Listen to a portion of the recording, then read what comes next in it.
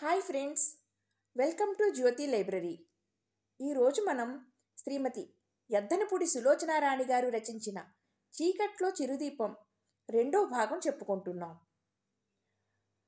గత భాగంలో రాజేశ్వరి గారి ముందు చేయి చాచిన బిచ్చగాడిని డ్రైవర్ తోసేస్తే పేవ్మెంట్ మీద పడిపోయి కదలిక లేకుండా ఉండిపోయాడు.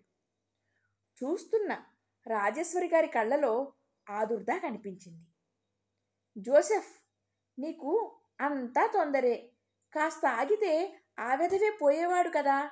అంటూ సుతారంగా చేతి వేళ్ళ కొనలతో జరీ పర్సు తెరిచి అందులో నుండి చేతికి అందిన రూపాయి నాణెం తీసి పేవ్మెంట్ మీద మూటలా పడిపోయిన ఆ బిచ్చగాడి మీదకి విసిరేసింది. అది వెళ్ళి అతని వీపు మీద పడింది. ఇంతలో ఎర్ర లైటు పోయి ఆకుపచ్చ లైటు వెలిగింది. కదిలిన కార్లన్నీ రయ్యిన ఒకదాని వెంట ఒకటి పరుగులు తీస్తున్నాయి. ఆమె ఉన్న తెల్లటి ఫియట్ వెళుతుంటే అందులో నుండి వచ్చిన పెర్ఫ్యూమ్ సువాసనలు అక్కడంతా అలముకున్నాయి. కారులో వెళుతుంటే గౌరీ శంకర్ అన్నాడు మేడం మీరు జోసఫ్ మీద ఆవేశపడ్డాడు అని మందలిస్తున్నారు కానీ నాకు కూడా ఆవేశం వచ్చింది. ఆ దొంగ రాస్కెల్ని తన్ని తగిలేయాలనిపించింది. అసలు ఈ బెగ్గర్స్ని నమ్మకూడదు. వాళ్ళు ఇలాగే మన దగ్గర అడుక్కుంటారు. అది వాళ్ళ వృత్తి. ఆరాలు తీస్తే ఆ బిచ్చగాళ్ళకి ఒక్కొక్కళ్ళకి బ్యాంక్ అకౌంట్లు ఉంటాయి. వాళ్ళు చెప్పే బాధలు సగం పైగానే కల్పితాలు అయి ఉంటాయని అందరికీ తెలుసు. ఆవిడ చాలా ఆలోచనగా అంది. గౌరీ శంకర్ మనకి ఈ బిచ్చగాళ్ళ ప్రాబ్లం ఎక్కువ కదా. అసలు మనం కొన్ని దేశాలకు రాసి ఫండ్స్ కలెక్ట్ చేసి బెగ్గర్ హోమ్స్ ఎందుకు కట్టించకూడదు? Very good madam. Marvellous idea. ఆ రూపంగా మనం మరలా ఒకటి రెండు సార్లు ఫారిన్ కంట్రీస్కు ట్రిప్ కొట్టి రావచ్చు. మనం వర్కౌట్ చేద్దాం మేడం. కారు సర్కిల్ దాటి వెళ్ళిపోయి కనుమరుగైపోయింది. పేవ్మెంట్ మీద మూటలా పడి ఉన్న అతని దగ్గరకు ఒక పోలీస్ కానిస్టేబుల్ వచ్చాడు. భుజం మీద తట్టి ఏయ్ మిస్టర్ లే అంటూ కసిరి లేపాడు. అతను బలవంతంగా లేవలేనట్లుగా లేచాడు. పద స్టేషన్కి లాఠీతో తాకుతూ అన్నాడు. వాడేం చేశాడండి? అన్నాడు. పళ్ళు అమ్మే బండి అతను. ఏం చేశాడేమిటి? పబ్లిక్ న్యూసెన్స్గా తయారయ్యాడు. కార్ల వెంట పడుతూ పిచ్చి మాటలు మాట్లాడుతూ. పాపం అసలు అతను మాట్లాడనే మాట్లాడాడు కదండి? అన్నాడు ఆ కుర్రాడు. హుష్ ఊరుకో.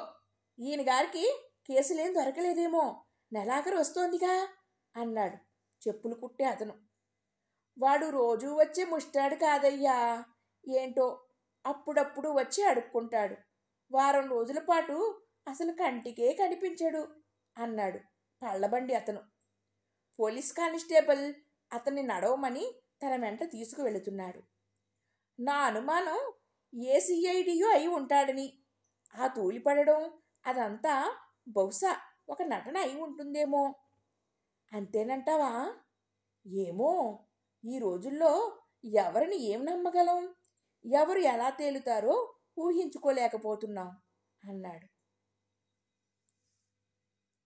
మిస్టర్ నాయర్ ఇతను మీకు ఏమవుతాడండి?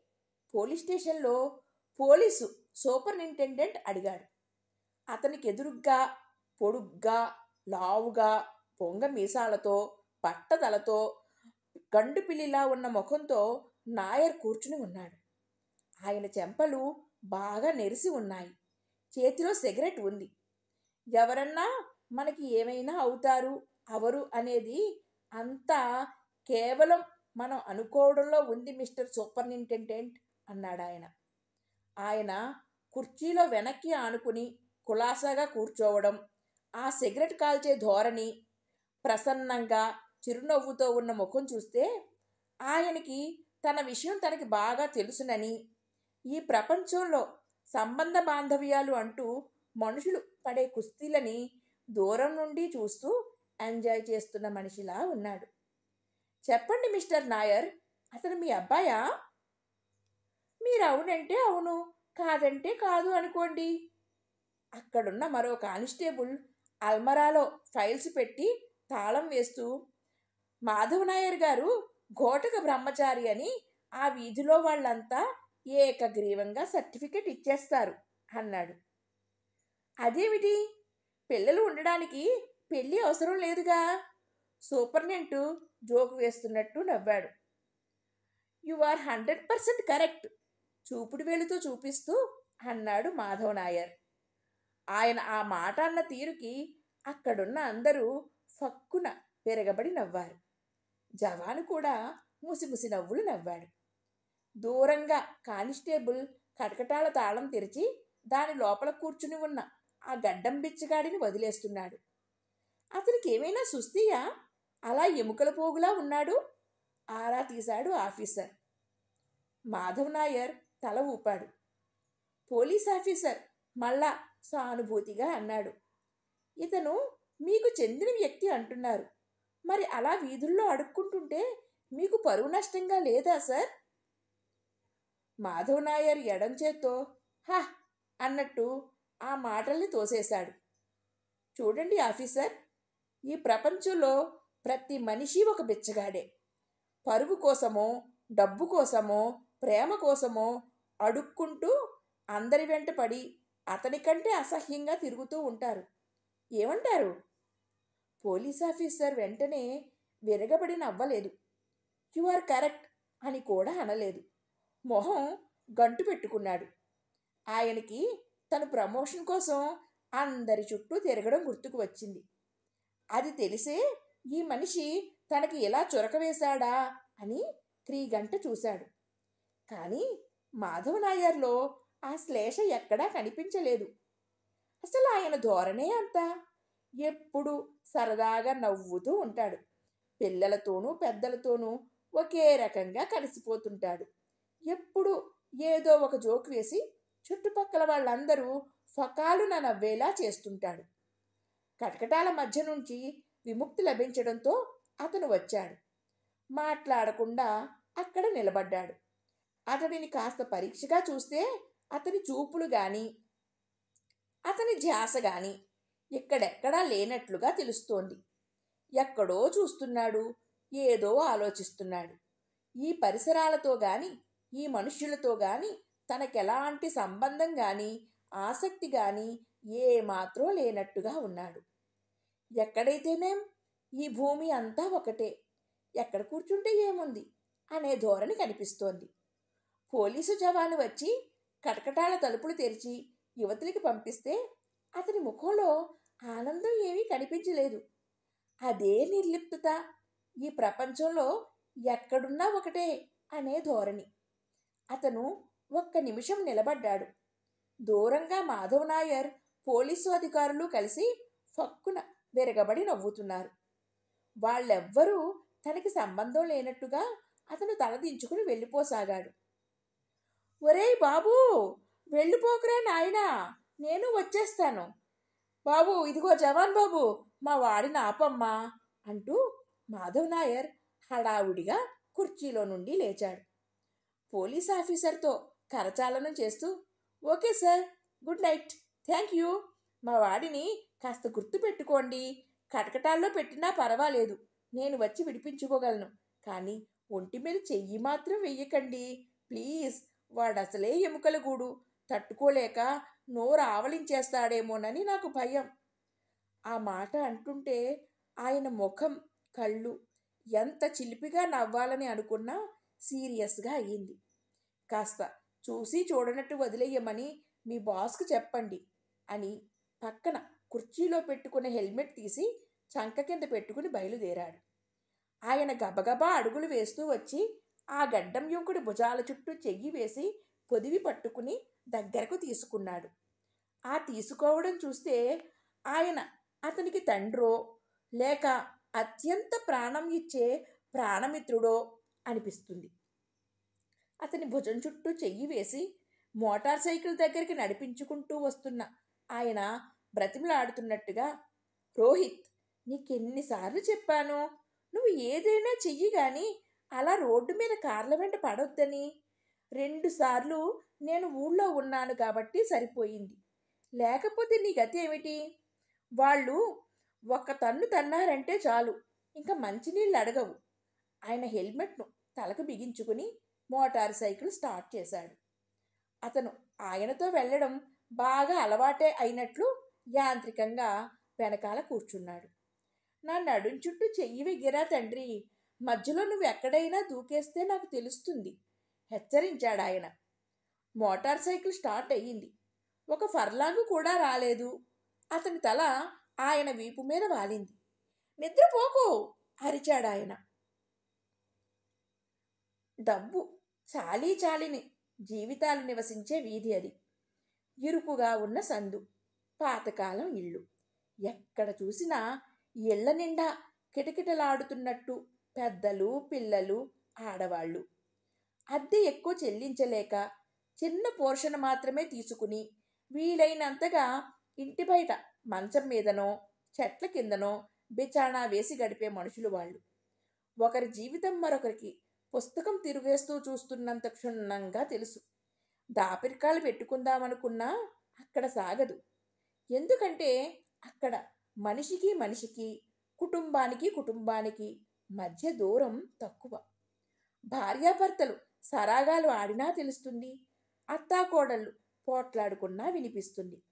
తండ్రి కొడుకులు అరుచుకున్నా అందరికీ అర్థమైపోతుంది.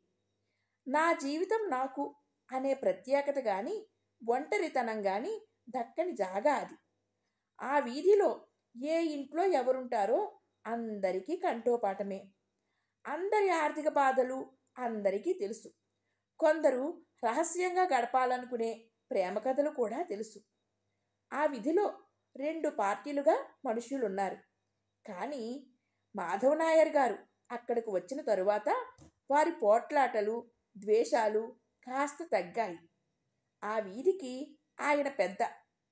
ఆ వీధి మధ్యలో ఉన్న ఇంటి ముందు రిక్షా ఆగింది. స్రవంతి ఆ రిక్షాలో నుండి దిగి సీటు మీద పెట్టి ఉన్న కూరల బుట్ట తీసుకుంది. ఊరిలో జరుగుతున్న ఫిల్మోత్సవ్ ఆడంబరం ఆ సందులోకి కూడా వచ్చినట్టుగా పాన్ దుకాణం అతను తన బడ్డీల కొట్టికి రంగులైట్లు పెట్టాడు. స్రవంతి రిక్షా అతనికి డబ్బు ఇస్తుంటే పక్కింటి నాగరత్నమ్మ పరిగెత్తుకు వచ్చింది. ఆవిడ మనవడిని చంకనేసుకుని అన్నం తినిపిస్తోంది. అమ్మాయి స్రవంతి ఇదిగో మీ మావయ్య ఇంట్లో లేడు తాళం చెవి నాకు ఇచ్చి వెళ్ళాడు అంటూ చెంగుముడి విప్పి అందించింది. స్రవంతి తీసుకుంది. నాగరత్నమ్మ కళ్ళు స్రవంతి చేతిలో ఉన్న కూరల బుట్ట మీద పడ్డాయి. కళ్ళు పెద్దవి చేసి చూస్తూ ఏంటి అవి? చిలగడ దుంపలా? ఎంత బాగున్నాయి? వాటి దుంప తెగ. ఎంత రుచి. అవి నోట్లో వేసుకుని ఎన్నాళ్ళయిందో అంటూనే ఒక బుట్టలో నుంచి చిలకడ దుంప తీసుకుని తినేసింది. స్రవంతికి కోపం వచ్చినా పెద్ద ఆవిడని ఏమీ అనలేక ఊరుకుంది.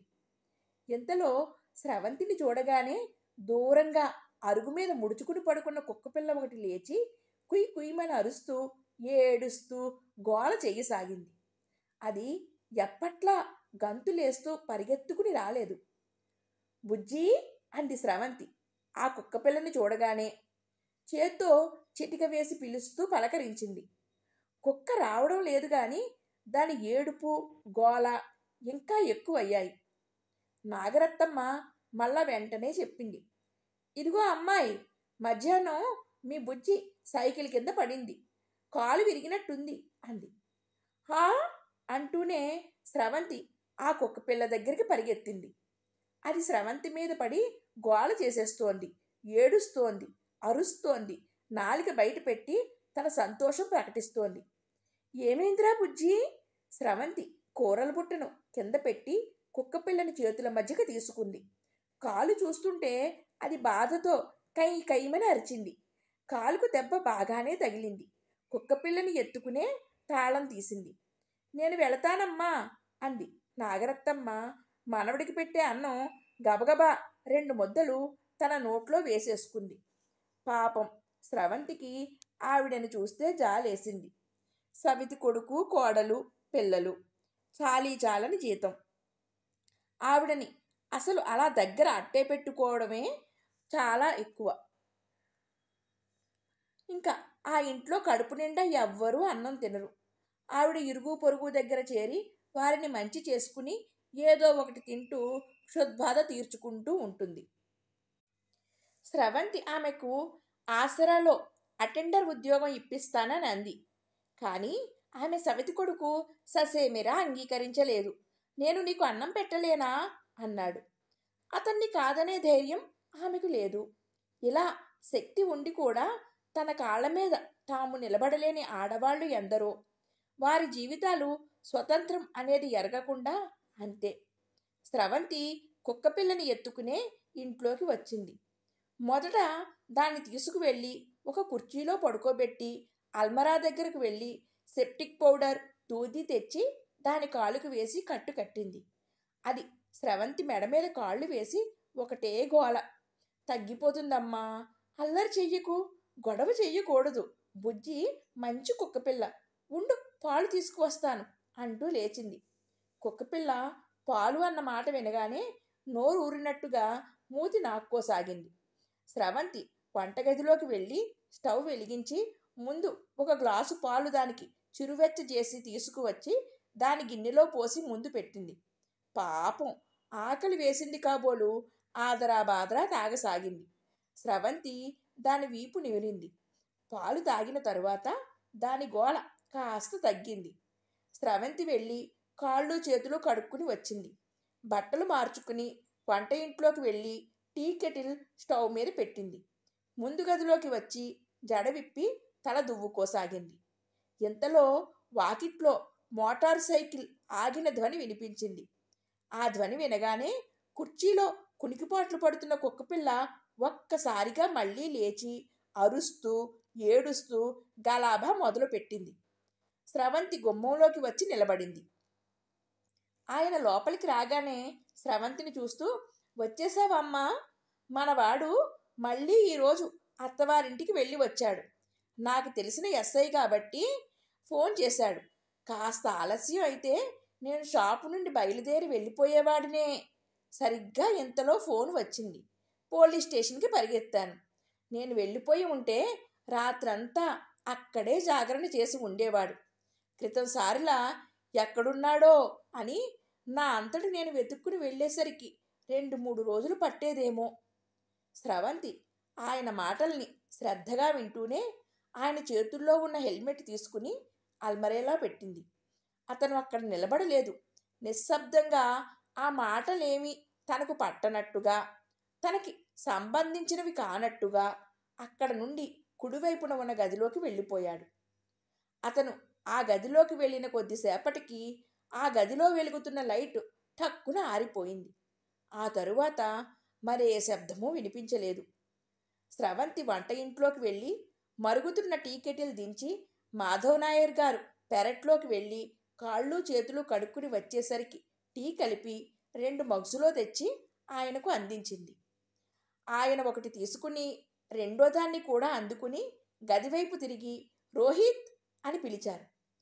గదిలో నుండి సమాధానం రాలేదు. రోహిత్ ఏయ్ రోహిత్ ఇలా రా వచ్చి టీ తాగు స్రవంతి కలిపింది టీ చాలా బాగుంది అన్నాడు. గదిలో చీకటి కరగలేదు. ఆయన టీ మగ్గు పట్టుకుని గదిలోకి వెళ్ళాడు. ఆయన వెంట స్రవంతి కూడా వెళ్ళింది. అక్కడంతా కటిక చీకటి. అసలు మనిషి ఉన్నాడో లేడో అరికిటి తెలియడం లేదు. ఏయ్ రోహిత్! ఆయన మళ్ళీ పిలిచాడు. లేచి గదిలోకి వెళ్ళి గుమ్మం పక్కన ఉన్న స్విచ్ నొక్కారాయన. లైట్ వెలిగింది. అతను గదిలో నేల మీద బోర్లా పడుకుని ఉన్నాడు. అతనిలో చలనం లేదు. రోహిత్ టీ తాగు అన్నారాయన అతను పలకలేదు. ఆయన దగ్గరకు వెళ్ళి మోచేతి మీద కూర్చుని భుజం పట్టి కుదిపాడు. అతను గాఢ సుషిప్తిలో ఉన్నట్టుగా ఉన్నాడు. ఆయన అతని నిద్ర చూసి సంతోషపడలేదు. గాఢంగా నిట్టూర్చి లేచారు. పదమ్మా వెళదాం అన్నాడు వెళుతూ. స్రవంతి లైటు తీసేయబోతూ అతని ముఖం చూసింది. మాధవ్ నాయర్ భుజం పట్టి అతన్ని తిప్పడంతో అతను కాస్త వెల్లకిలా ఇటు తిరిగాడు. అతని ముఖం ఈ ప్రపంచంలో ఉన్న విషాదానికి అంతటికీ ఒంటరితనానికి మారు పేరులా ఉంది. ఇతను ఒక చీకటి కోపం అతని చుట్టూ మౌనం అనే ఒక మహాభయంకరమైన దుర్భేజమైన గోడ ఎందుకో కట్టుకున్నాడు. ఒక్క క్షణం అలాగే అచేతనురాలుగా చూస్తూ ఉండిపోయింది స్రవంతి. ఎవరిలో అయినా బాధని చూస్తే తనకి తెలియకుండానే వారిని అనునయించడానికి ఓదార్చడానికి ఆమె మనసు ముందంజ వేస్తుంది. అతన్ని అలా చూస్తూ ఉంటే స్రవంతి గుండెల్లో ఒక దయాకెరటం మెల్లగా ప్రారంభం అయ్యి అతని పట్ల ఉవ్వెత్తున లేచి రాసాగింది. ఇంతలో వాకిట్లో నాయర్ గారు అని పక్కింటి సత్యం పిలుపు వినిపించింది. ఈరోజు మా శాంత బర్త్డే అండి. ఇదిగో మీ ఆశీస్సుల కోసం తీసుకువచ్చాను. అంకుల్కి దండం పెట్టమ్మా అంటున్నాడు. రండి రండి నాయర్ ఆహ్వానించాడు. మీరు మరీ పిల్లల్ని ఇలా అందరికీ దండాలు పెట్టేయమనడం అలవాటు చెయ్యకూడదు. వాళ్ళకి పెద్ద అయితే దండాలు పెట్టి పని చేయించుకోవడం అలవాటు అయిపోగలదు జాగ్రత్త. అంటూ బెదిరించారు. స్రవంతి గదిలో లైట్ తీసేసి బయటకు వచ్చేసింది. నాయర్ శాంతకి జేబులో నుండి ఇరవై రూపాయల కాగితం తీసి ఇచ్చారు. అబ్బెబ్బే డబ్బు వద్దండి. మీరు నాకు గురువు లాంటివారు. మీరంటే మా కుటుంబంలో అందరికీ ఇష్టం. మా ఆవిడ ఏమిటో అంటూ ఉంటుంది. నాయర్ గారికి ఫ్యామిలీ లేకపోవడం ఏమిటి? ఈ బజార్లో కుటుంబాలన్నీ ఆయనవే. ఆయనే మనకి పెద్ద. అసలు పెద్దవాళ్ళంటే పిల్లల కష్టసుఖాలు చూస్తూ అలా మాధవనాయర్ గారిలా ఉండాలి. మీ నాన్న ఉన్నారు. ఎందుకు? అంటూ దెప్పి పొడుస్తుంది. మాధవ నాయర్ చిరునవ్వుతో వింటున్నారు. సత్యం నోరు విప్పితే చాలు. భార్య ప్రసక్తి దానంతట అదే వచ్చేస్తుంది. అతను ఆఫీసులో అయినా సరే బజారులోనైనా సరే సినిమాకి పోయినా సరే సంభాషణ ఎవరితో ఎలా మొదలైనా మా ఆవిడ అంటూ ప్రారంభిస్తాడు. స్రవంతికి కూడా సత్యం శాంతి చేత స్వీట్ ఇప్పించాడు. ఆంటీకి నమస్తే చెప్పు అన్నాడు. శాంతి ముద్దుగా సిగ్గుగా చెప్పింది. మాధవ్ నాయర్ మురిపెంగా సత్యం ఒడిలో కూర్చుని ఉన్న ఆ చిన్నారినే చూస్తున్నాడు. సత్యం మళ్ళీ అన్నాడు. మా ఆవిడ ఇంకొకటి కూడా ఎప్పుడూ అంటుంది. పరాయి వాళ్ళం అయినా మనల్ని ఆయన ఇంత సొంత తండ్రిలా చూస్తున్నారు. ఆయనకే పెళ్ళి అయ్యి పిల్లలు ఉంటే ఇంకా ఎంత బాగా చూసేవారో అని. మిస్టర్ నాయర్ మీరసలు పెళ్ళి ఎందుకు చేసుకోలేదు? అడిగాడు. నాకు పిల్లలంటే చాలా ఇష్టమే కానీ భార్య సతాయింపు మాత్రం అస్సలు భరించలేను. మన జీవితం స్ప్రింగు వారి చేతిలో చిక్కాయనుకుని మనల్ని తోలుబొమ్మల్లా ఆడిస్తారు. ఇంతలో పరమేశ్వరం కూడా వచ్చాడు. రండి సార్ రండి నాయర్ ఆహ్వానించాడు. వారి మధ్య పెళ్ళి గురించి మగవాళ్ళ భయాల గురించి జోకులు ఒక దాని వెంట ఒకటిగా వినవస్తున్నాయి. ముగ్గురు ఓహోహో అంటూ బిగ్గరగా నవ్వుతున్నారు. స్రవంతి వంట ఇంట్లో వంట చేస్తోంది. ఆమె చెవులు వారి జోకులను ఆలకించడం లేదు.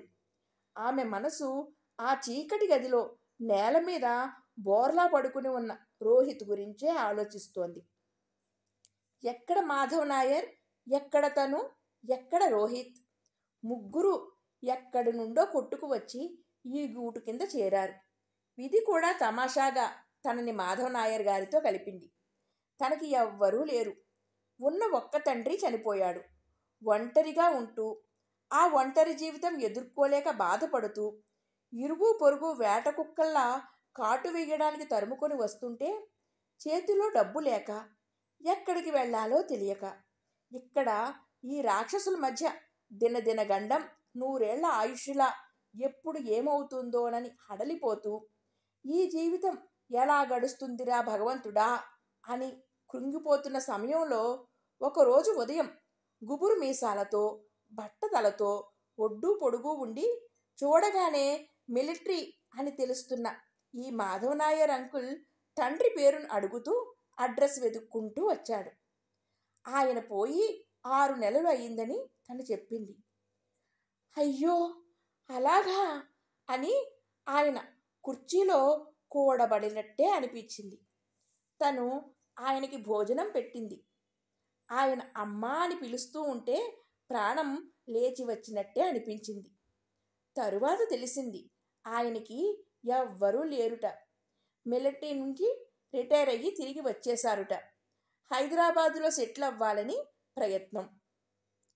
ఆయనకి తండ్రి ఒక్కడే ఈ ఊరిలో పరిచితం. స్నేహితుడు చచ్చిపోయాడు. అతని కూతురు ఉంది. ప్రస్తుతానికి ఆయన పెట్టే బెడ్డింగు స్రవంతిని అడిగి ఆ ఇంట్లో పెట్టుకున్నాడు. ఆయన రిటైర్ అయినాడు. ఏదైనా వృత్తిని ఏర్పరచుకోవాలి. దానికోసం ప్రయత్నాలు చేస్తున్నాడు. ఆయనకి వచ్చిన నాలుగైదు రోజుల్లోనే స్రవంతి విషయం అర్థమయ్యింది. స్రవంతికి ఎవ్వరూ లేరు. ఆయనకి ఎవ్వరూ లేరు. ఆయన వచ్చిన తరువాత స్రవంతి వెంటపడే వేట కుక్కల జోరు మెల్లగా తగ్గింది. ఇంట్లో సింహం లాంటి మనిషి ఉంటే అందులోనూ మిలిటరీ మనిషి. ఎవరు స్రవంతి వైపు చూడడానికి సాహసిస్తారు? స్రవంతికి తండ్రి ఉన్నప్పుడు కూడా ఎరగనంత నిశ్చింత ప్రప్రథమంగా కలగసాగింది. మాధవ్ నాయర్ గారి గురించి గుసగుసలు ప్రారంభించారు. అందుకని వెంటనే ఆ ఇల్లు మారి వేరేగా ఈ వీధిలోకి వచ్చారు. మాధవ్ నాయర్ గారు మెయిన్ రోడ్డు మీద వీడియో షాప్లో ఉద్యోగం సంపాదించారు. స్రవంతికే ఆయన ఆసరా అనే వికలాంగుల సంస్థలో సెక్రటరీగా ఉద్యోగం ఇప్పించారు. స్రవంతికి ఈ జీవితం హాయిగా ఉంది. తనది అనే ప్రపంచం ఏర్పడింది. ఆర్థికంగా కానీ సమాజపరంగా కానీ ఎలాంటి బాధలు లేవు. దానికి కారణం మాధవ్ నాయర్ అంకులే. స్రవంతికి కృతజ్ఞతగా అనిపిస్తోంది. మాధవ్ నాయర్ గారికి ఒక బలహీనత ఉంది. ఎవరు ఏ సాయం అడిగినా కాదనలేరు. ఆ పనులు చేయడానికి ఎంతో టైం ఖర్చు చేస్తారు. తన స్వంత డబ్బు ఖర్చు పెట్టడానికి కూడా వెనుకాడరు. ఆయన మనస్తత్వమే అలాంటిది. ఆయన క్షణంలో అందరినీ స్నేహితుల్ని చేసుకుంటారు. ఆ స్నేహం నిలుపుకోవాలని తాపత్రయపడతారు. స్రవంతి ఎప్పుడైనా ఏదైనా అంటే పోనీలేమ్మా మనం వెళ్తూ ఈ ప్రపంచంలో నుండి ఏం తీసుకు వెళ్ళలేం కదా. బ్రతికినన్నాళ్ళు తృప్తిగా ఆనందంగా బ్రతకాలి. అది నా సిద్ధాంతం అనేవారు. స్రవంతికి క్రమంగా ఆయన అర్థం కాసాగారు. ఆయనది ఒక చిన్నపిల్లాడి మనస్తత్వం. పెద్దవాళ్ళకంటే చిన్నపిల్లలతోనే ఆయన ఎక్కువసేపు గడపగలరు. చూడమ్మా ఈ పెద్దవాళ్ళు ఎందుకో తెలియదు కానీ ప్రతి చిన్న విషయానికి రాద్ధాంతం చేసినట్టు చాలా కాంప్లికేట్ చేయడానికి చూస్తూ ఉంటారు. అలా చేస్తే కానీ వారికి తృప్తి ఉండదేమో. అసలు వాళ్ళకి నిత్య జీవితంలో డ్రామా టెన్షన్ బాగా కావాలనుకుంటాం. చిన్న చిన్న వాటికి కొండంత ప్రాముఖ్యం ఇస్తూ తలలు బద్దలు కొట్టుకుంటారు. చిన్నపిల్లలు అలా కాదు. వారి మనస్తత్వం సూటిగా ఉంటుంది. ఆయన ఎప్పుడూ ఎవరో ఒకరి పని మీద ఊరు వెళుతూనే ఉంటారు. తెలిసిన వాళ్ళకి పెళ్ళి సంబంధాలు చూడడానికి ఉద్యోగ ప్రయత్నమో ట్రాన్స్ఫర్లో కాలేజీలో సీట్లో ఏదో ఒక పని ఉంటూనే ఉంటుంది. అంకుల్ ఎందుకింత చేస్తారు మీరు? వాళ్ళకి మీ పట్ల కాస్త కూడా కృతజ్ఞత ఉండదు అని స్రవంతి ఆవేశపడితే ఆయన శాంతపరుస్తూ పోనీలేమ్మా వారికి సాయం చేయడంలో నాకు ఒక స్వార్థం ఉందనుకో ఆ పనులు నాకు చాలా ఆనందం కలిగిస్తాయి.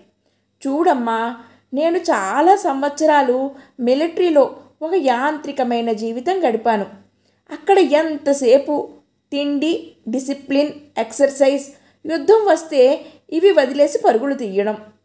అంతే తప్పితే మనిషి ఒంటరిగా తనకంటూ ప్రత్యేకమైన జీవితం అంటూ ఉండదు. స్వేచ్ఛ అనేది అసలే ఉండదు. ఇక్కడ డిసిప్లిన్గా ఉండక్కర్లేదు. హాయిగా నవ్వుకోవచ్చు. ఇష్టం వచ్చినప్పుడు ఇష్టం వచ్చిన చోటికి వెళ్ళవచ్చు. అన్నేళ్ళ ఆ జీవితం తరువాత ఈ జీవితం నాకు చాలా ఆనందం కలిగిస్తోంది. మరి అసలు మరి మిలిటరీలోకి ఎందుకు వెళ్ళారు అంకుల్? అంది స్రవంతి. వచ్చినప్పటి నుంచి చూస్తోంది. ఆయన మిలిటరీ జీవితాన్ని అందరిలా గ్లోరిఫై చేయడం లేదు. తెలియక చాలామందిలాగా నేను కూడా మిలిటరీలో చేరడం అంటే అదొక వీరోచిత ఘనకార్యం అనుకున్నాను. కానీ అందరికీ అది అలా కుదరదు. నాలాంటి తిరుగుబోతులకి పొగరుబోతులకి ఆ జీవితం అస్సలు సరిపడదు. ట్రైనింగ్ ప్రారంభమైన కొద్ది రోజులకే నేను చేసిన పని చాలా తప్పు అని తెలుసుకున్నాను. పారిపోవాలని చాలా చూశాను కానీ కుదరలేదు. ఆ డిసిప్లిన్ ఉందే ఒక నరకం అనుకో.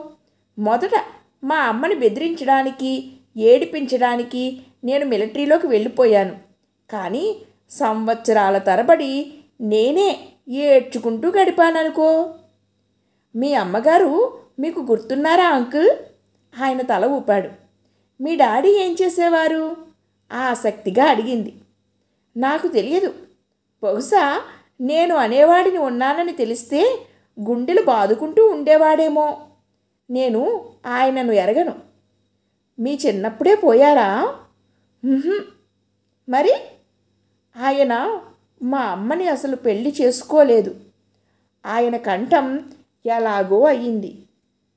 అలాగా ఆయన ముఖంలో భావం చూసిన తరువాత అనునయంగా ఇంకా ఏమని అనాలో తెలియలేదు. స్రవంతి నాకు ఒకటే కోరిక. నాకు జన్మ ఇచ్చిన ఆ స్క్రౌండ్రల్ ఎలా ఉంటాడో ఒక్కసారి కళ్ళతో చూడాలి అని. మా అమ్మని ఎన్నిసార్లు అడిగానో కానీ చెప్పలేదు ఆవిడ. అలిగాను పోట్లాడాను తిట్టాను. అయినా సరే ఆవిడ చెప్పలేదు. బహుశా ఆవిడకి నా అఘాయిత్యపు స్వభావం బాగా తెలుసు కాబట్టి చెప్పలేదేమో. ఇప్పుడు అనిపిస్తోంది. ఆవిడ చెప్పకుండా మంచి పనే చేసిందని.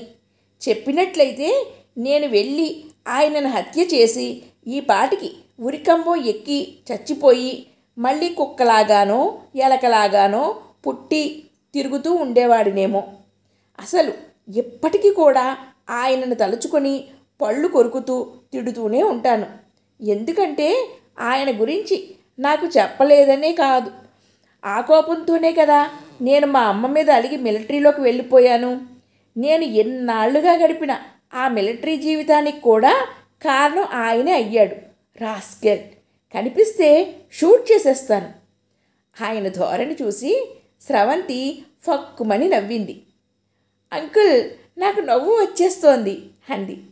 నవ్వమ్మా నవ్వు. నవ్వడం మనిషికి జన్మ హక్కు. అసలు నవ్వుతూ జీవితం గడపడానికే మనం పుట్టాం. ఆ రాస్కల్ సంగతి గుర్తు రాకపోతే నేను కూడా ఎప్పుడూ నవ్వుతూనే ఉంటాను. మీ ఊరు ఎలా ఉంటుంది అంకుల్ మా ఊరా? ఆయన కుర్చీలో వెనక్కి వాలాడు. కళ్ళు అరమోడుపులుగా అయ్యాయి. ఒక స్వర్గాన్ని వర్ణిస్తున్నట్లే చెప్పారు. స్రవంతి ఎప్పటికైనా నిన్ను మా ఊరు తీసుకువెళతాను. మా హాపిరై ఉందే ఓహ్ ఆ అందం ప్రశాంతత ఇంక ఎక్కడా ఉండదేమో. ఎక్కడ చూసినా బ్యాక్ వాటర్స్ ఒడ్డు వెంట కొబ్బరి చెట్లు నీళ్ళలో మెల్లగా వెళుతుండే పడవలు. మా కేరళ స్త్రీలు ఎంత కష్టపడతారో తెలుసా? టికెట్ రిజర్వ్ చేయించండి. రేపే వెళ్దాం అంకుల్. మీ హౌపిరే చూడాలని నాకు చాలా ఇష్టంగా ఉంది అంది ఉత్సాహంగా. నో ఆయన కలల్లోంచి యథార్థంలోకి వచ్చేసినట్టుగా సరిగ్గా కూర్చున్నాడు. ఇప్పుడు కాదు దృఢంగా అన్నారు. ఎందుకని? అక్కడ ఇంకా మా చుట్టాలు ఇద్దరో ముగ్గురో బతికి ఉన్నారు.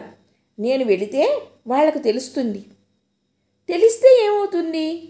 నన్ను చూడగానే మళ్ళీ మా అమ్మని తిడతారు. ఆవిడ చచ్చి స్వర్గాన ఉన్నా నా మూలంగా తిట్లు తింటూనే ఉండాలి. అది నాకు నచ్చదు.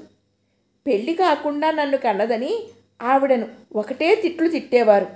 అఫ్కోర్స్ నన్ను కూడా తిట్టేవారనుకో. అబ్బా ఆ తిట్లు ఇప్పుడు గుర్తుకు వస్తుంటే ఆయన అవి వినలేనట్టు రెండు చెవుల్లో వేళ్ళు పెట్టుకున్నారు. కాస్త ఆగి నో నెవర్. నా జన్మలో ఎప్పుడు ఆ ఊరి ముఖం కూడా చూడను. నాకు అక్కడ గౌరవం లేదు మనిషి అన్నవాడు తనకి ఎక్కడ గౌరవము అభిమానము ఉండవో అక్కడికి అస్సలు వెళ్ళకూడదు. ఆయన తువాలు తీసుకుని మెడలో వేసుకుని బయటకు వెళ్ళిపోయాడు. స్రవంతికి ఆయన ప్రవర్తన విచిత్రంగా ఉండేది. నవ్వుతూ నవ్విస్తూ త్రుళ్ళుతూ ఉండే ఆయన ఆంతర్యంలో ఇంత క్షోభ ఉందని ఇదే మొదటిసారి తెలియడం. ఆయన ఒకసారి మెద్రాస్ వెళ్ళారు. నాలుగు రోజుల తర్వాత వచ్చారు. వస్తూ గడ్డం మాసి బట్టలు చిరిగిన ఒక యువకుడిని వెంట పెట్టుకుని తీసుకువచ్చారు. స్రవంతికి అతడిని చూపిస్తూ స్రవంతి ఇతని పేరు రోహిత్. రైలులో నాకు జ్వరం వస్తే చాలా సాయం చేశాడు. ఒక రోజంతా నన్ను కనిపెట్టుకునే ఉన్నాడు. మన ఇంటికి తీసుకువచ్చాను అన్నారు. స్రవంతి నమస్తే అంటూ పలకరించింది. అతను ప్రతి నమస్కారం చెయ్యలేదు. తనని కాదన్నట్టు తను చూస్తున్నాడు. అతని ధ్యాస అసలు ఇక్కడెక్కడా లేనట్టుగా నిలబడ్డాడు. స్రవంతి అతనికి నాయర్ గారితో పాటు టీ ఇచ్చింది. అతను ఒక్క గుక్క తాగాడో లేదో వెంటనే వాంతి చేసుకున్నాడు. పాపం ఒంట్లో బాగా లేదు అన్నారు ఆయన. డాక్టర్ దగ్గర తీసుకువెళదాం అంది స్రవంతి. అతను వద్దు వద్దు అన్నాడు. అతను రోజంతా గదిలోనే పడుకుని ఉన్నాడు. స్రవంతి మర్యాద పాటిస్తూ అతిథి సత్కారంగా తను పడుకునే మంచం మీద ఇస్త్రీ దుప్పటి వేసి దిండు వేసి పక్క సిద్ధం చేసింది. ఐదు నిమిషాల తర్వాత వెళితే అతను గదిలో కింద పడుకుని ఉన్నాడు. అతను ఆ రోజంతా ఆ గదిలోనే పడుకుని ఉన్నాడు. భోజనానికి పిలిస్తే రాలేదు. మళ్ళీ వాంతి చేసుకున్నాడు. స్రవంతి అతను వాంతి చేసుకోవడం వినగానే నీళ్ళు తీసుకుని పరిగెత్తుకు వెళ్ళి అందించింది. అతను తీసుకున్నాడు. తరువాత అక్కడ కుర్చీలో కూలబడి చేతులతో కళ్ళు మూసుకున్నాడు. అతని బట్టల నిండా రక్తపు మరకలు కనిపిస్తున్నాయి. ఏమిటి? అతని సుస్థి స్రవంతి మాధవ్ నాయర్ని అర్థం కానట్టు చూస్తూ ఆ తరువాత అడిగింది. డ్రగ్స్ అన్నారాయన స్రవంతి ఆయన వైపు ఆశ్చర్యంగా చూసింది. డ్రగ్సా? అంది. అవును ఇతను ఒక డ్రగ్ ఎడిక్ట్. అతనితో మనకేమీ ప్రమాదం లేదు. అతను ఒకరి జోలికి రాడు. తన లోకంలో తను ఉంటాడు. ఒకటి రెండు రోజుల్లో వెళ్ళిపోతాడులే అన్నారాయన రెండు రోజులు దాటింది. వారం రోజులు గడిచాయి. పది రోజులు అవుతోంది. అతను వెళ్ళిపోలేదు. వాళ్ళు కూడా వెళ్ళిపోమ్మని అనలేదు. మనం ఎలా చెబుతాం? ఆయన నసిగారు. ఇరుగు పొరుగు కుతూహలంతో ఈ పిచ్చాడు ఎవరు? అని అడిగితే మాధవ్ నాయర్ మా బంధువుల అబ్బాయి అని చెప్పారు. మొదట్లో వీధిలో పిల్లలు అతన్ని ఆట పట్టించబోయినా ఈ మాట వినగానే ఆ పని ఆపేశారు. నాలుగు రోజుల తర్వాత అతను రోడ్డు మీద పడి ఉంటే ఇతను నాయర్ గారి చుట్టూరా? అంటూ పిల్లలు మోసుకు వచ్చి ఇంట్లో దింపి వెళ్ళారు. ఒకసారి అతను కారు కింద పడబోతుంటే ఎవరో రక్షించి అడ్రస్ అడుగుతూ మళ్ళీ తీసుకువచ్చారు ఇంకోసారి అతను తోటి డ్రగ్ ఎడిక్ట్స్తో కలిపి బ్రౌన్ షుగర్ కొంటుంటే పోలీసులు పట్టుకున్నారు. అతని జేబులో నాయర్ గారి విజిటింగ్ కార్డు చూసి పోలీసు అధికారులు ఫోన్ చేస్తే ఆయన వెళ్ళి విడిపించి తీసుకువచ్చాడు. రెండు రోజుల తర్వాత ఇంట్లో నుండి నాయర్ గారి వాచి మాయం అయ్యింది. అది అతను అమ్ముతూ ఉంటే పట్టుకుని పోలీసులు మళ్ళీ తీసుకువచ్చారు. ఆ పూట నుండి ఖరీదైన వస్తువులు పెట్టెలో పెట్టి తాళం వేయసాగింది. తరువాత అతను వెళ్ళిపోలేదు. నాయర్ గారు ఇంట్లో నుండి వెళ్ళిపోమ్మని చెప్పలేదు. రోహిత్ చేష్టలు ఆయనకి చిరాకు కలిగించడానికి బదులు పోనీలే పాపం అనే జాలి కలిగిస్తున్నాయి. అతను క్రమంగా ఆ ఇంట్లో ఒక వ్యక్తి అయిపోయాడు. ఉదయాన్నే ఇంట్లో నుండి వెళ్ళిపోతాడు. ఎక్కడెక్కడో తిరిగి రాత్రికి ఇంటికి వస్తాడు. ఒక్కొక్కసారి రెండేసి రోజులు ఉంటాడు ఇక రాడేమో వెళ్ళిపోయాడేమో అనుకుంటే వాకిట్లో ప్రత్యక్షం అవ్వడమో లేకపోతే వాకిట్లో ఏ గోడకి ఆనుకునో కనిపిస్తాడు. కుక్కపిల్ల చూసి అరుస్తూ గోల చేస్తుంది. ఇరుగు పొరుగు వారికి నాయర్ గారి బంధువైన ఈ కుర్రాడు ఒక కాలక్షేపం అయిపోయాడు. అతనికి నాయర్ గారికి గల సంబంధ బాంధవ్యాల గురించి అందరూ రకరకాల ఊహాగానాలు చేస్తున్నారు. కొంతమంది స్రవంతిని అడిగేవారు. ఒకసారి స్రవంతి అంకుల్ ఏమిటిదంతా? చాలా గోలగా ఉంది అంది. ఉండనియమ్మా మనకేమిటి నష్టం? నేను ఎంతమందికో ఎన్నో రకాలుగా సాయం చేస్తున్నాను. ఇది కూడా ఒక రకం అని ఎందుకు అనుకోరు అతని వలన మనకి ఖర్చు కాదు. ఎప్పుడో వస్తాడు ఎక్కడికో వెళ్ళిపోతాడు. మనకేం బాధ? అన్నారు. స్రవంతి అటుపైన ఇక అతని గురించి ఆలోచించలేదు. ఒక రోజున నాయర్ గారు ఊళ్ళో లేరు. వరంగల్ వెళ్ళారు. మధ్యాహ్నం వేళ రోహిత్ వచ్చాడు. అలవాటుగా స్రవంతి తలుపు తీయగానే లోపలికి వచ్చిన అతను సరాసరి తన గదిలోకి వెళ్ళిపోయాడు. రాత్రి అవుతోంది. స్రవంతికి భయం వేయసాగింది. ఇంట్లో అంకుల్ లేరు. తను ఒక్కతే ఉంది. స్రవంతి పుస్తకం చదువుకుంటూ కూర్చుంది. అతని గదిలో ఎలాంటి శబ్దమూ లేదు. ఆలోచించింది. చివరకు ధైర్యం చేసింది. వెళ్ళి తలుపు మీద టక్ టక్ మని వేళ్ళతో కొట్టింది. అతనికి ఏమీ వినిపించలేదు. స్రవంతి తలుపు తోసింది. దగ్గరగా వేసి ఉన్న తలుపు కిర్రుమంటూ తెరుచుకుంది. గదంతా చీకటి. కిటికీ కూడా మూసేశాడు కాబోలు. ఎలాంటి చిన్న వెలుతురు కూడా లేకుండా చిమ్మ చీకటి. భయపడి పిలిచింది. రోహిత్ అతను పలకలేదు. లోపలకు అడుగుపెట్టి లైట్ వేసింది. అతను మంచం మీద అడ్డంగా పడుకొని నిద్రపోతున్నాడు. అతనిలో చలనం లేదు. ఆ స్థితి సుఖనిద్రలో హాయిగా పడుకున్నట్టుగా లేదు. ఒంటి మీద తెలివిలేని తనంతో ఒక నిర్జీవ పదార్థంలా పడి ఉన్నట్టుగా ఉంది. రోహిత్ దగ్గరకు వెళ్ళి పలకరించింది. అతను కదలలేదు. కదిపినా కదిలే స్థితిలో లేడు. స్రవంతికి ఎందుకో గాని మొట్టమొదటిసారిగా అతడిని చూస్తే జాలేసింది. వయసులో ఉన్న మనిషి జవసత్వాలతో కోరిన జీవితం ఆనందంగా అనుభవించవలసిన వాడు ఇలా మనసుని శరీరాన్ని ఎందుకు ఇలా మత్తుమందుతో ముంచేసుకుంటున్నాడు అతను? తను ఒక అనాథనని విరక్త? స్రవంతి ఆ రాత్రి నిశ్చింతగా నిద్రపోయింది. ఆ తరువాత అతని పట్ల నమ్మకము ధైర్యము ఏర్పడసాగాయి. బతకనివ్వని మామూలు మగవాళ్ళతో ఉండే ప్రమాదం ఇతనితో ఏమాత్రం లేదు అనిపించింది. మాధవ్ నాయర్ గారికి రాను రాను కోరిక కలగసాగింది. అది ఆయనలో ఉన్న వ్యసనం లాంటి గుణమే. సాయం చెయ్యాలి అనే తపన.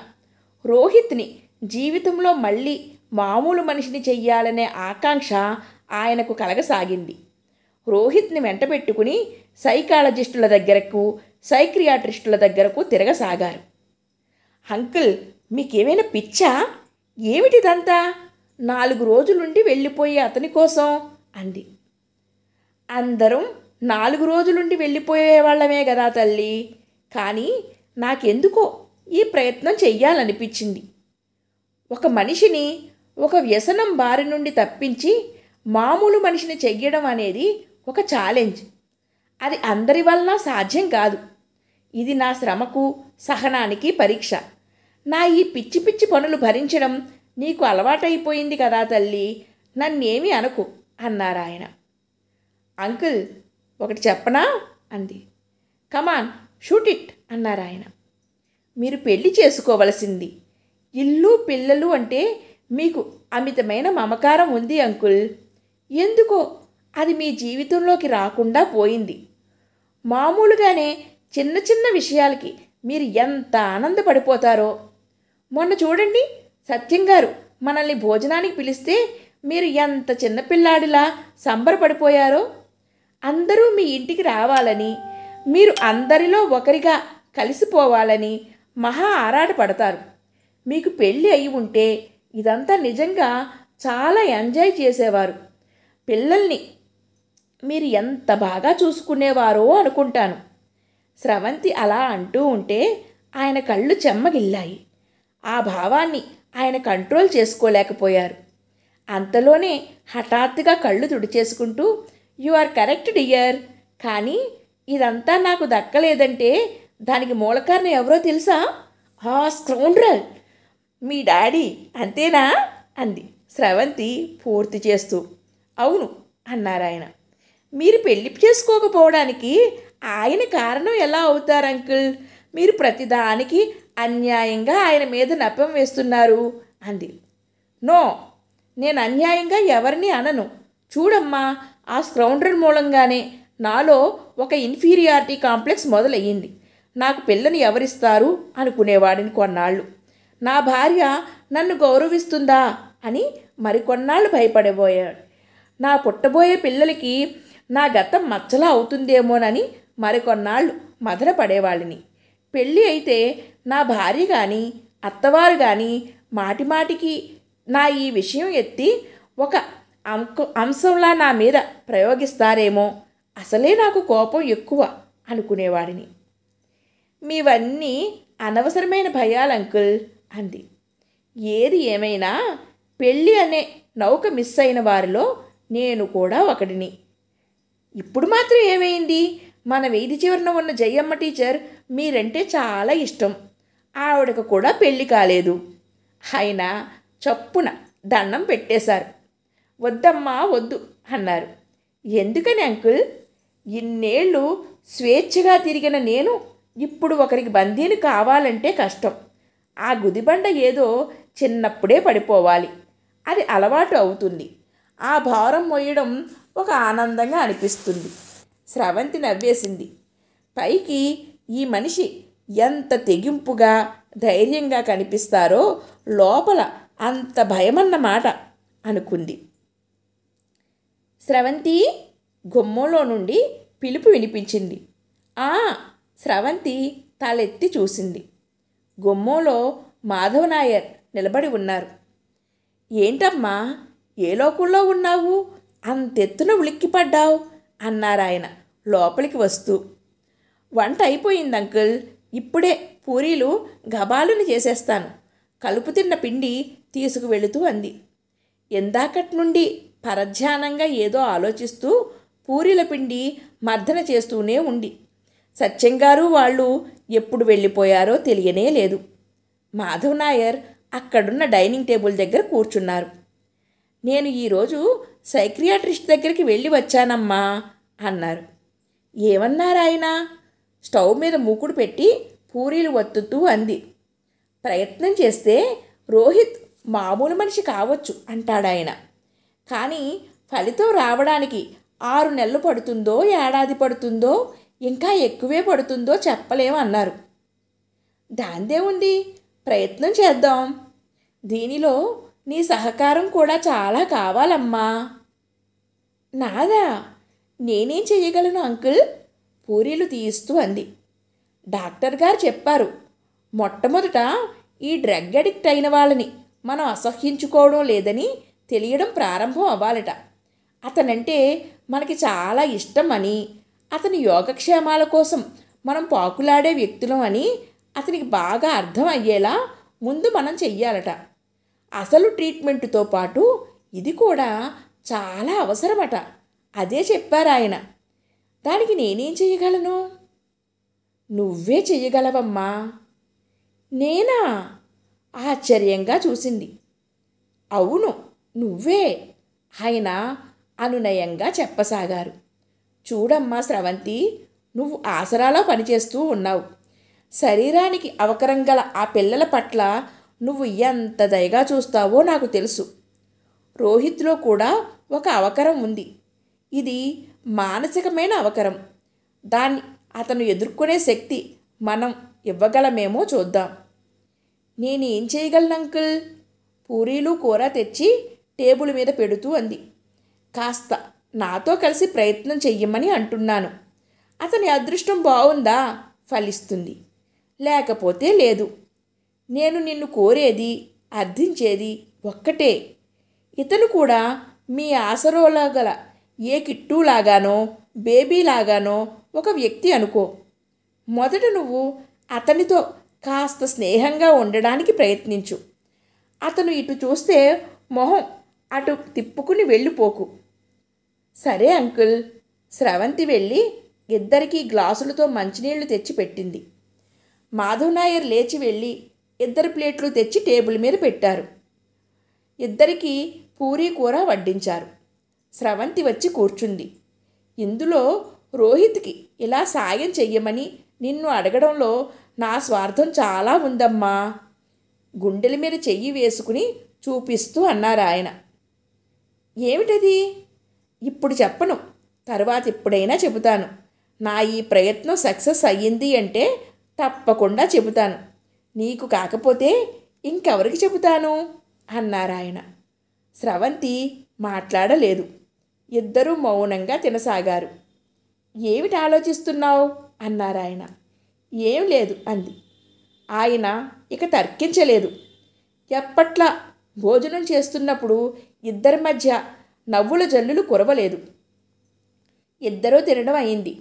నాయర్ గారు ఎప్పట్లా ప్లేట్లు తనే తీసేసి సింకులో వేసి కడుగుతారు. స్రవంతి వద్దన్నా మొత్తుకున్నా వినరు. ఈ పని చెయ్యడం ఏం కష్టమమ్మా? వంట చెయ్యడం చాలా కష్టం. అది నా వల్ల కాదు కానీ అంటారు. స్రవంతి గ్లాసులు కడిగి తుడిచిపెడుతూ అంకుల్ పిలిచింది. ఏమిటమ్మా? స్రవంతి పెదవులు ఏదో అడగడానికి కదిలి మళ్ళీ ధైర్యం చాలక అంతలోనే ఆగిపోయాయి. ఏమిటి? కమాన్ షూట్ ఇట్ అన్నారాయన అంకుల్ రోహిత్ రోహిత్ ఏమిటి? మీ అబ్బాయా? స్రవంతి మాటలు అస్పష్టంగా పలికినా ఆయన బాగానే గ్రహించారు. ఏంటి? ఒక్కసారి ఆయన ముఖం చిట్లించి చూశారు. ఆ వెంటనే ముఖం ఎత్తి ఫక్కున ఇంటి పెంకులు ఎగిరిపోయేటంత బిగ్గరగా నవ్వేశారు. మై గాడ్ నీ ముఖం చూసినప్పుడే నీకు ఈ అనుమానం వచ్చిందని అనుకున్నాను. నో డియర్ అలాంటి పురాణ కథలు ఏమీ లేవు. ఏమిటి? అతను నా కొడుక? ఓ గాడ్ నేను అర్జెంటుగా ముందు అతని తల్లి కోసం వెతకాల్సి వస్తుంది. అవునా? నో నో ఆయన మళ్ళీ నవ్వారు. స్రవంతి పెదవుల మీదకి చిరునవ్వు వచ్చింది. ఆయన కాస్త ఆగి అన్నారు. ఓకే నీ మాట ఎందుకు కాదనాలి? నా కొడుకే నా పెంపుడు కొడుకు. అతనికి వారసత్వంగా నేనేమి ఇవ్వగలను బ్యాస్టర్డ్ అనే తండ్రి హోదా తప్ప. ఆయన మళ్ళీ విరగబడి నవ్వారు. స్రవంతి ఆయన కడిగిన ప్లేట్స్ని తుడిచి రాక్లో పెడుతోంది. ఆయన సిగరెట్ వెలిగించుకుంటూ అది కాదమ్మా నేను ఒక పని చెయ్యబోతున్నాను. దానిలో నీ సాయం ఉంటే నాకు తేలిక అవుతుందని. అది అసలు రహస్యం. నిన్ను ఆసరాలో మామూలు ఉద్యోగంగానే చేర్పించాను. కానీ తరువాత తరువాత నువ్వు ఆ పిల్లలతో కలిసిపోయిన విధానం ఆ చిన్నారి ముఖాల్లో నవ్వుల వెలుగు తెప్పించిన పద్ధతి చూస్తే చాలా ఆశ్చర్యం వేసింది. అందుకే రోహిత్ విషయంలో కూడా నాకంటే నువ్వే బాగా చేయగలవని అనుకుంటున్నాను. ఇదొక తమాషా అయిన ఎక్స్పెరిమెంట్. ఎంతమందికి నేను పెళ్ళి కుదర్చలేదు? ఎంతమందికి ఉద్యోగాలు ఇప్పించలేదు? ఇది కూడా అలాగే అనుకుంటున్నాను. సరే అంకుల్ అంది స్రవంతి. వెరీ గుడ్ అన్నారు ఆయన. ఆయనకిప్పుడు ధైర్యం వచ్చింది. ఆయన స్రవంతికి దగ్గరగా ఉన్న ఈ ఆరు నెలలలో జీవితంలో ఏనాడు ఎరగనంత సుఖ సంతోషాలు పొందుతున్నట్టుగా అనిపిస్తోంది. ఎక్కడెక్కడ తిరిగినా ఇంటికి వచ్చేసరికి తన కోసం వేచి చూస్తూ ఉన్నట్టుగా తన గది తన పక్క తన పుస్తకాలు ఎప్పుడూ నీట్గా సర్ది ఉంటాయి. అర్ధరాత్రి వేళ ఇంటికి వచ్చినా స్రవంతి ముఖంలో చిరాకు ఉండదు. అంకుల్ ఒక కప్పు టీ అంటుంది. స్రవంతి ఇచ్చిన వేడివేడి టీ తాగి ఆ పడకుర్చీలో అలా పడుకుని సిగరెట్ని కాలుస్తూ ఉంటే స్వర్గమే కిందికి దిగి వచ్చినట్టుగా అనిపిస్తుంది.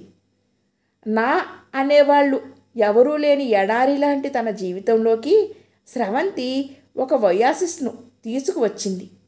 తనంటే ఈ పేటలో అందరికీ గౌరవం. ప్రతి చిన్న విషయానికి సలహా సంప్రదింపులకి వస్తారు. అత్తాకోడళ్ళు కీచులాడుకున్నా పిల్లలకు సంబంధాలు వచ్చినా ఉద్యోగాలు కావాలన్నా తనని ఒక దైవంగా మన్నిస్తారు. తనది అనే ఒక ఇల్లు గౌరవ ప్రతిష్టలు. సాటివారి ముందు తలెత్తుకుని తిరగగలిగిన అవకాశం అందరి చూపుల్లో అభిమానం తప్ప అవహేళన అనేది లేనే లేదు. నాయర్ గారికి ఇది పూర్తిగా కొత్త జన్మలా ఉంది. ఆయన చిన్నప్పటి నుండి కలలు కన్న స్వర్గం కళ్ళెదుట దిగివచ్చి తనని ఆనందపరుస్తున్నట్టుగా ఉంది. దీనికి అంతటికీ మూల కారణం ఎవరు? స్రవంతి. అవును ముమ్మాటికి స్రవంతియే. స్రవంతి ఏనాడు అయితే తనతో కలిసి ఒక రూఫ్ కింద ఉండడం ప్రారంభించిందో ఆనాడే ఆయన తాగుడికి స్వస్తి చెప్పేశారు. ఎప్పుడు ఆయనకది మితిమీరిన వ్యసనం కాదు. అయినా సరే లోకులు తనని గురించి కాస్త కూడా స్రవంతిని కించపరచకూడదు. ఆమెకు తన స్వంత తండ్రి కంటే ఎక్కువ గర్వకారణం కావాలి. తనకి తండ్రి హోదా ఇచ్చి అందరిలో గౌరవ ప్రతిష్టలు ప్రసాదించింది. స్రవంతి అంకులుగా మొదట తనని అందరూ మన్ననతో చూడడం ప్రారంభించినా అందరూ రాను రాను తను చేసే పనుల వలన తనకి ఒక విశిష్ట గౌరవం ఇవ్వసాగారు. ఆయన చేసిన మొదటి పని ఒకరిద్దరు జోదగాళ్ళైన స్నేహితులని వదిలేశారు. వాళ్ళను ఇంటికి రావద్దని నిర్మోహమాటంగా చెప్పేశారు. ఇంట్లో ఆడపిల్ల ఉంది. వాళ్ళ బుద్ధులు తనకు తెలుసు. ఆడవారి గురించి వావి వరుసలు వయసు వివక్షత లేకుండా అవాకులు చవాకులు పేలుతూ ఉంటారు. కాస్త చుక్క నోట్లో పడితే మరీను. ఇక వారి నోటికి హద్దే ఉండదు. ఆయనకి ఈ ప్రపంచంలో అనుకోకుండా స్రవంతి అనే అదృష్టం దొరికింది. ఆ అదృష్టం జీవితంలో శాశ్వతంగా నిలుపుకోవాలి అంటే ముందు తనకి కొన్ని అర్హతలు ఉండాలి తన ప్రవర్తన స్వచ్ఛంగా ఉండాలి.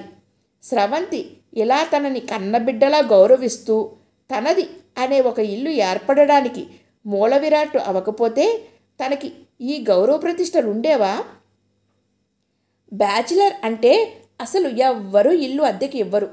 ఒకవేళ ఏ అద్దె డబ్బులకు ఆశపడి ఇచ్చినా ఆ గది తన స్నేహితులందరికీ ఒక సత్రంలా తయారవుతుంది. అక్కడ పేకాటలు తాగడం తిట్టుకోవడం ఎవరో ఒకరిద్దరు ఆడపిల్లల్ని తీసుకురావడం ఇవన్నీ తన ప్రమేయం లేకుండానే జరిగిపోతాయి. మళ్ళీ ఆకలి వేస్తే గుప్పెడ అన్నం పెట్టడానికి తలనొప్పి వస్తే ఒక కప్పు టీ ఇవ్వడానికి కూడా ఎవ్వరూ ఉండరు. అదొక భయంకరమైన జీవితం. స్రవంతి తనని ఆ నరకం నుండి తప్పించింది. అందుకే ఆయన ఇంటి పనులు చేస్తూ స్రవంతి వద్దన్నా సరే చేస్తూ సంబరపడతారు. సత్యం భార్య పిల్లలతో తన ఇంటికి భోజనానికి వస్తే సత్యం భార్య అన్నయ్య గారు అంటూ తన ఇంటి గొడవలు చెబుతూ ఉంటే ఆయనకి ఎనలేని ఆనందం. పరమేశ్వరం ఇంటికి స్రవంతి తను పండుగనాడు వెళితే అంత సంతోషం. హోటల్కి వెళితే ఆయన ఫ్యామిలీ రూమ్ వైపు దారి తీస్తుంటే సంబరం. ఇదివరకులా అలా వెళ్ళేవారి వైపు ఈర్షిగా చూడవలసిన దుస్థితి లేదు. ఆయనకి భగవంతుడి మీద నమ్మకం లేదు. కానీ ఇప్పుడు స్రవంతి కూడా ఎప్పుడైనా గుడికి వెళుతూ ఉంటే ఆ నమ్మకం కలగసాగింది. ఎంతో శ్రద్ధగా కొబ్బరికాయ పూలు ఉన్న బుట్ట పట్టుకుని స్రవంతి వెంత నడుస్తారు. ఏ ఊరు వెళ్ళినా ఆయన ఎప్పుడెప్పుడు ఇంటికి వస్తానా అని తహతహలాడతారు. ఇంటికి రాగానే స్రవంతి నోటి వెంట అంకుల్ అనే పిలుపు వినగానే ఆయనకి లోపల ప్రాణం లేచి వస్తుంది. మిగతా ప్రాణం స్రవంతి ఇచ్చే టీతో ఆ తరువాత పడకుర్చీలో కూర్చుని కాల్చే సిగరెట్తో లేచి వస్తుంది. ఈ మధ్యనే పరమేశ్వరం స్రవంతికి సంబంధాలు చూస్తున్నారా? పెళ్ళి ఎప్పుడు చేస్తారు? మా అక్క కొడుకు స్టేట్స్లో ఉన్నాడు. వచ్చే నెల వస్తున్నాడు. ఇంజనీర్ మంచి ఉద్యోగంలో ఉన్నాడు. కట్నాలు కానుకలు అనుకుంటే వెళ్తే మీకు అందే సంబంధం కాదులేండి. మీ స్నేహితుడిగా నేను మా వాళ్ళను ఒప్పించగలను అంటూ ఏదేదో చెబుతున్నాడు. మాధవ్ నాయర్కి ఆయన చెప్పేవి ఇంకేవీ చెవికి ఎక్కడం లేదు. ఆయన నెత్తున పిడుగుపడిన వాడిలా అయోమయంగా చూస్తున్నాడు. స్రవంతి పెళ్ళ స్టేట్స్ పంపించాలా? ఏది? ఎక్కడ నా తుపాకీ? నిన్ను కాల్చి అవతల పారేయాలి. రాస్కెల్ స్రవంతిని నా నుంచి దూరం చేయడానికి చూస్తున్నావా? అంటూ మాధవ్ నాయర్ ముఖం మార్చేసుకుని తరువాత వారం రోజుల పాటు పరమేశ్వరంతో మాట్లాడలేదు. ఆయన పలకరిస్తూ ఉంటే తన ఆనందాన్నంతా దోచుకుని పోయే దొంగని చూసినట్టుగా అనుమానంతోనో చిటపటలాడుతూ అసహ్యించుకున్నట్టుగానో చూడసాగారు. పరమేశ్వరం స్రవంతి దగ్గర మొత్తుకున్నాడు. మీ మావయ్యకి ఏమైందమ్మా? నన్ను అలా చూస్తున్నాడు? నాతో మాట్లాడనే మాట్లాడడం లేదు అంటూ లబోదిబో మన్నాడు. శ్రాయంతం స్రవంతి అంకుల్ ఏంటిది? అని అడిగింది. ఆయన జవాబు చెప్పలేకపోయాడు. ఏమని చెబుతాడు? నీకు సంబంధం చెప్తే ఇతన్ని నేను గౌరవించవలసింది పోయి దొంగలా చూశాను అంటాడా? అప్పుడు స్రవంతి కళ్ళలో ఎలాంటి అసహ్యం వస్తుంది? అంకుల్ నా ఆనందం మీకు ఇష్టం లేదా అంటే తనేం చెప్పాలి? అబ్బెబ్బే అదేం కాదమ్మా చేతులు తిప్పేస్తూ గబగబా అన్నాడు. వంట ఇంట్లోకి వెళుతున్న స్రవంతి వెనక్కి తిరిగి ఆశ్చర్యంగా చూసి ఏం కాదు అంకుల్ అంది. ఆ మాధవ్ నాయర్ ఈ లోకంలోకి వచ్చి తనని తాను నిగ్రహించుకున్నాడు. అదేనమ్మా నేను ఊరికే తమాషా చేసి ఏడిపించడానికి షార్ట్ ట్రీట్మెంట్ ఇద్దామని అలా చేశాను పరమేశ్వరంతో. స్రవంతి ఫక్కున నవ్వింది. నాకు తెలుసు అంకుల్ మీరు ఇలాంటిదే ఏదో చేశారని అప్పుడే అనుకున్నాను. పాపం పరమేశ్వరం తలకి తువాలు కట్టుకుని మంచం ఎక్కి పడుకున్నాడు. స్రవంతి మళ్ళీ నవ్వింది. ఆ నవ్వు ఆ ఇంట్లో కోటి కాంతులు విరజిమ్మినట్టే ఉంటుంది. స్రవంతి పాదాల సవ్వడి గాజుల శబ్దం అంకుల్ అంటూ ఆ పిలవడంలో ఆత్మీయ అభిమానాలు. స్రవంతి వస్తూ తెచ్చిన ఈ సందడి నా జీవితంలో ఒక కలలా తేలిపోదు కదా అని ఆయన భయపడసాగారు. ఇది వరకు అంటే అది వేరు. ఈ స్వర్గం గురించి తెలియదు. ఆయన చేతిలో వెలుగుతున్న సిగరెట్ని నేల మీద రాచేశారు. నో స్రవంతి ఇచ్చిన ఈ జీవితం ముందే ఇది తను దక్కించుకోవాలి. కానీ ఎలా? ఆయన కుర్చీలో ఆలోచనగా వెనక్కి వాలాడు. స్రవంతికి పెళ్ళి ఇంతకీ ఎవరితో చేస్తారు? ఆయన ఆలోచన ఏమిటి? తరువాతి భాగంలో తెలుసుకుందాం. Thank you friends. సర్వేజనా సుఖినోభవంతు జై హింద్.